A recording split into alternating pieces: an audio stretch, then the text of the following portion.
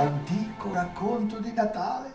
Sì, perché la storia è molto antica e poi è di Natale. È così antica che molto tempo fa si rappresentava direttamente nella E a me piace tantissimo, allora sono venuto per vederlo. Sentirebbe dove siete diretti, è un viaggio segreto. Questo martello glielo frego io. certo che era proprio rotta la barca di Geremia. Cominciamo a far festa dal tuo pianoforte.